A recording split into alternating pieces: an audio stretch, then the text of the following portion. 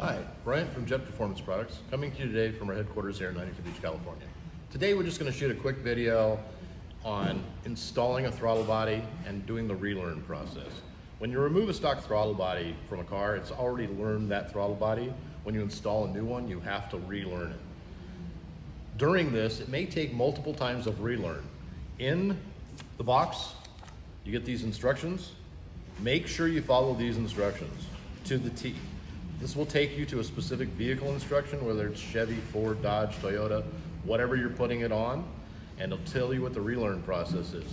Make sure you do the relearn process. And if you have problems, do the relearn process again. Disconnect the battery and start over. Sometimes it take, may take multiple times to get the relearn process to complete. Just that simple. Thanks.